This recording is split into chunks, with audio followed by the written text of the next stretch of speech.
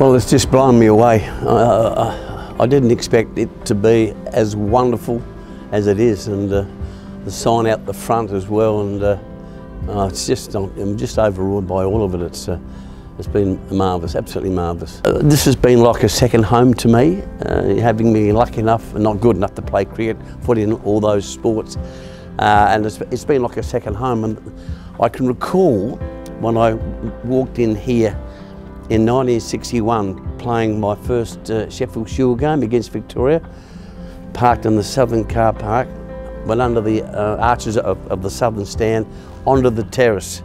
I looked out over the oval and there was the curator at the time, Arthur Lance, mowing the, the, the ground.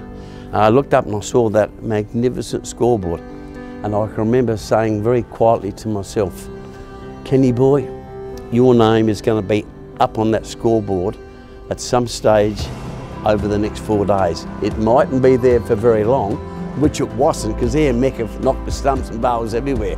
But it was just a, a, magnificent feeling. I've never, never, that was in 1961. That's a long time ago. Uh, yeah, there is one there with, with, with, my late mother when she gave me a hug when I managed to make a few runs here at the, at the Adelaide Ovals.